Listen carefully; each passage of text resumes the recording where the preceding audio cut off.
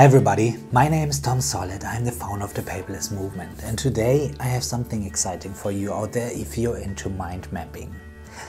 Many of you, and I really say many, reached out to me via email, on Facebook and so on asking me is there any mind mapping app out there where you can actually handwrite? Okay? There are lots of solutions for mind mapping but uh, nothing where you can actually handwrite properly. So all I was able to offer at the moment was a handwriting keyboard where you can just handwrite and it will translate it uh, into typed text. I made a video about this already. But now I got a suggestion in this awesome Facebook group. I need to keep saying this Facebook group is awesome because people ask questions and you get answers so fast. So thank you very much for pointing me into the right direction with CardFlow.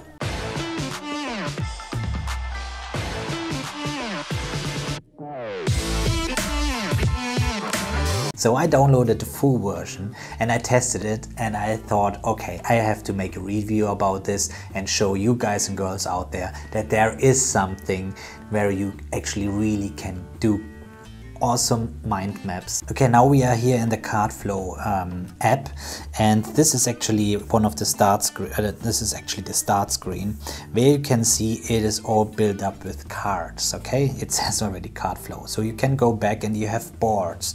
So let's just create a new board go in here and there's a play, plain board. All you have to do is now double tap to add a card and there you go. You got a card and you can write something. You see you have check marks you can make tasks and write something down change the color and so on. And well nothing special so far. It is just a card. But what you have here you can flip it over. Okay so this makes it really great to study things. If you um, have an answer here and you put a question on front you will have the possibility to study this way. You have the question you're answering and then you just flip around. So that's how I, how I studied actually, exactly with these cards, but with paper. So there was no iPad back then. Um, I would do it this way now. So now comes the good part. Let me show this. So now we have the card here. So let's just double tap again we can go on the gear icon on the top right corner and then we can just change the template to only lines or you know gridded format and so on.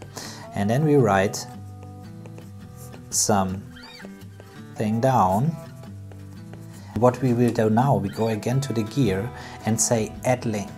As soon we press this our another cards will come up from this board and just tap on this and there you go.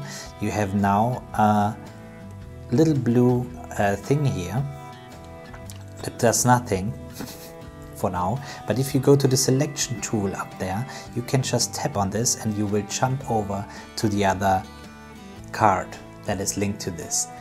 Good part is just here I don't know if you can see this but on the left on the left side you get now the arrows. You can just jump back to the previous card you've been in and then even go the whole workflow back. So whatever you've been looking for you can you are able to jump around. So you have a plus button here so you can quickly make a new card as well. So um, if I if I write down this and make a 2 there, you see how quickly I can make all these cards up. And now there we go, we have all these cards in here on our board.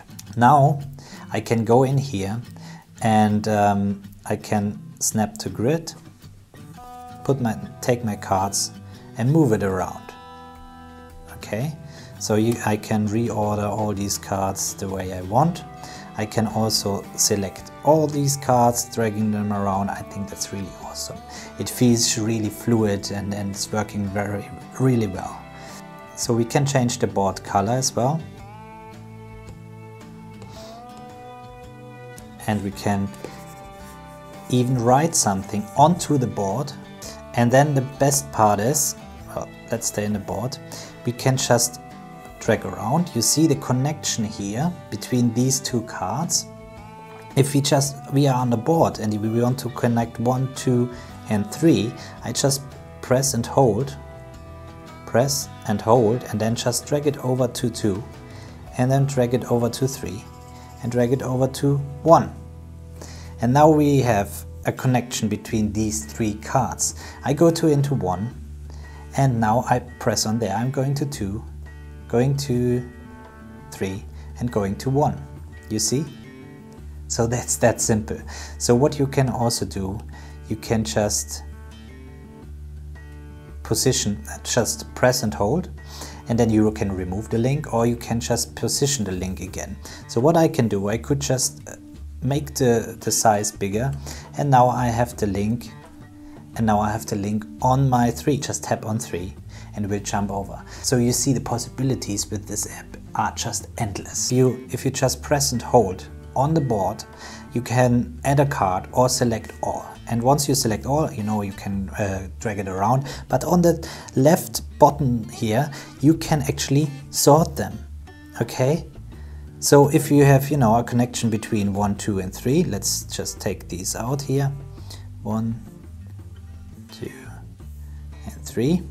And then we just select all of them and then we make something like this. So everything is sorted. So you maybe you have one subject going on there and you just have to tap on one and then you can go through your cards like this. So I think that's an awesome solution.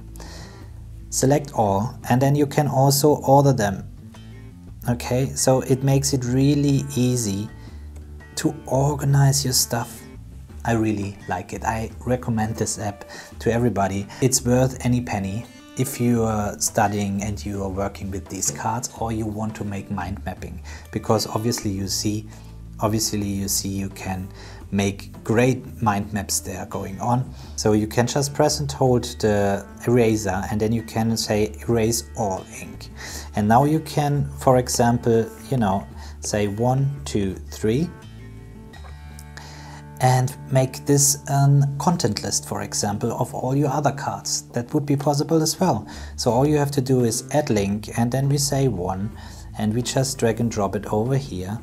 And then we say another link.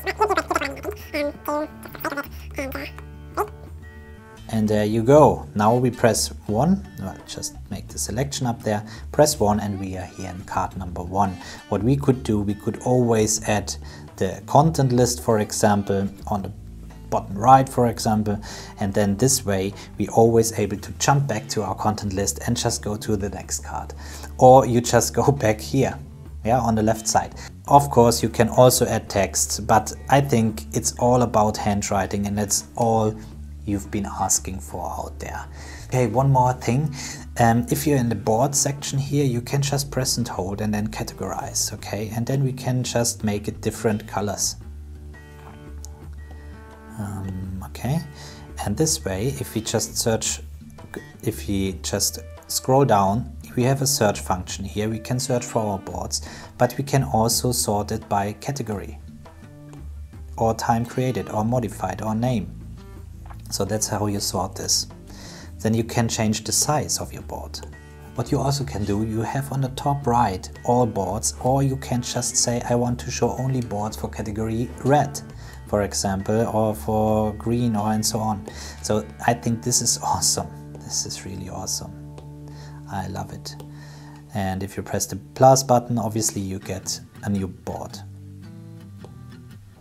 The app settings you can change, in the app settings you can change the categories. So here you can rename them. Okay, let's go back to this board here. Just open one more card. And one last thing I want to show you here. You can also include photos obviously, or you can even insert a web page. So if I press here, and I have google.com and I search for paperless movement, for example. Have this website and then we just press done. What this do does, it will just make a screenshot of your website and it will add it to to the card but even it adds a link back to this website so you will be always able to open this again so again whatever you open in here and whatever you see on this side. When you open this, you can, by, by pressing done, you can say save changes. So this will mean that you now saved the new um, screenshot. And if we go in here and we change again the, the page, we are in here now and we press done again, it asks if we and we just, just close it, it will stay the same. So I think that's really awesome and here again you can just flip over, make some notes about this web page and then um, flip over again. I think this is, uh, the possibilities are endless that you can do.